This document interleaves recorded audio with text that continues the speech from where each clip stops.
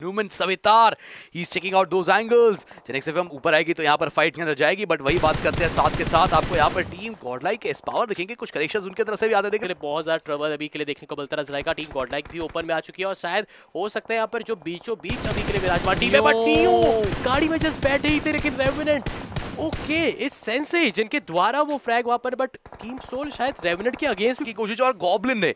मैं ये कहूँगा, गॉबलिन ने आज इस चीज़ को तो साबित पूरे तरीके से कर दिया भाई कि अगर शेर चार दिन शिकार पे ना आए तो ये मत समझना कि भूख खत्म हो गई है। शेर इंतज़ार कर रहा है, बड़े शिकार का और वो बड़ा शिकार काफ़ी बेहतरीन तरीके से यहाँ पर निकालते दिखे। बट चलिए, एक नेट पड़ेगी सीधा जॉनथन के हाथ से, सीधा वो नेट खत्म करते हुए टीम सोल को और लीजिए।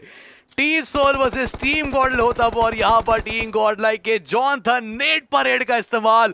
पूरी की पूरी टीम को करेंगे यहाँ पर समाप्त और अब यहाँ से एक चिकन डिनर का प्रयास। आठ फिनिशेस वो ऑलरेडी आ चुके हैं इस टीम के पास। स्टेटमेंट खत्म होते होते हैं यहाँ पर मुश्किल हालत में हो सकते हैं और इसका फ़ायदा हो सकता है। कैमरी स्पोर्ट्स खिलाड़ी उठा दे लेकिन कैमरी स्पोर्ट्स खुद भी अपने आप को बैकफुट में पा रही क्योंकि यहाँ से एस पावर ने भी उनका वहाँ पर एक नॉकआउट निकाला है। कुछ फ्लैश का भी प्रयोग बट अपने आप को इतना ओपन में कैसे लेकर आते हैं? आपको व्हाइट अपने राइट एरिया को वहाँ पर कंप्लीट कर, वहाँ पर हाइड करके कंप्लीट दारोमदार यहाँ पर सी गॉड के ऊपर यहाँ पर रहने वाला है, और अभी के लिए अगर सी गॉड ये क्लच करके निकाल देते तो one of the epic clutch यहाँ पर होता नज़र आएगा। इस पावर को पीछे बुलाया ज़रूर जा रहा है रीसेट किया जा रहा है, और शेडो को तुरंत ये बोला गया कि जैसी रिवाइवल दीजिए, आगे बढ़े, और वहाँ पर खिलाड़ी को खत्म करते नज़र आए, क्योंकि वो जो नॉकआउट प्लेयर है वापस सदाजी, वो उनकी पूरी लगातार इन्फॉर्मेशन दे रहे है बार बार लगातार। और यहीं पर ही सब